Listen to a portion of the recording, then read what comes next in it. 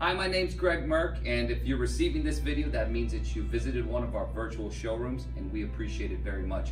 Because of your visits, I'm here with Cindy and Corey today on behalf of Nordson Corporation and the Nordson Corporation Foundation. We're very, very honored and pleased to be able to donate $5,000 to Operation Homefront, which supports first responders and veterans and their families in need, especially in this difficult pandemic that we're going through right now.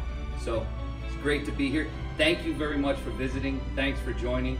And uh, congratulations to Operation Homefront. We hope that this goes to help a lot of people in need.